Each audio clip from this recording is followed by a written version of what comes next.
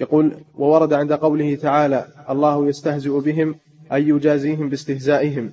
الله يستهزئ بهم من باب المقابلة والجزاء. الله وش يقول الله؟ يجازيهم باستهزاء. نعم هو, هو كذا نعم. يستهزئ بهم جزاء من باب الجزاء على آه، استهزائهم. نعم.